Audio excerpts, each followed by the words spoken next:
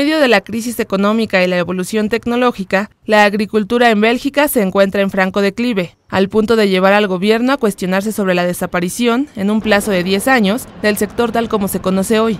El número de empleos en el campo disminuyó 60% entre 1980 y 2015, al tiempo que el número de explotaciones cayó 67%, según cifras del Ministerio del Empleo. Para sobrevivir en el sector, los agricultores belgas están diversificando sus actividades, apostando por el cultivo biológico y la venta directa o en circuitos cortos.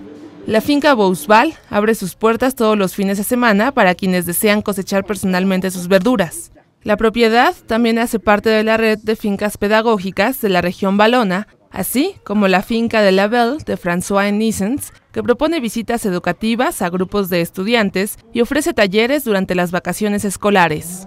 Con información e imágenes de Marcia Bizzotto, corresponsal en Bélgica, Notimex.